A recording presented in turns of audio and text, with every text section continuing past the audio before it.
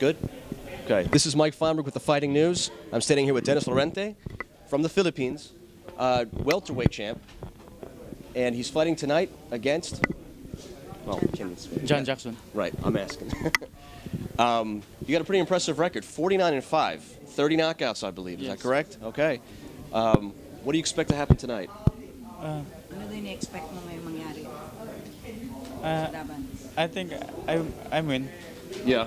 You gonna knock him out? Is that the intention tonight, or boxing, sparring? What, what do you think is going to happen in the ring this evening? Nanakaw mo daw ba? O anong Uh, kailangan kung, kung kayang kailang kailangan ma-knockout knockoutin pero kung hindi kaya If points you can knock him out, then he'll knock him out. If not, he'll win by points. Okay, that sounds good. Well, I appreciate it, and best of luck to you tonight.